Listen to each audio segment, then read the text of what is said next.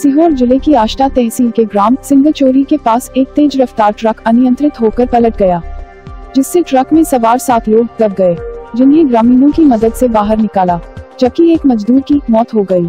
यह ट्रक देर रात आष्टा से कन्नूर की ओर जा रहा था, जिसमें बोरिंग मशीन का सामान लदा हुआ है। सीहोर से जावेद जाफरी की रिपोर्ट।